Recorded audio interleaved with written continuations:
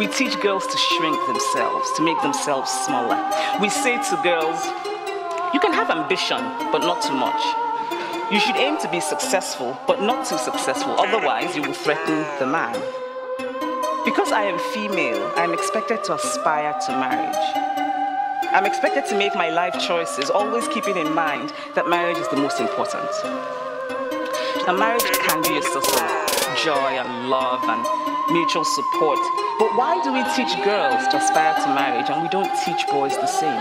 We raise girls to see each other as competitors, not for jobs or for accomplishments, which I think can be a good thing, but for the attention of men.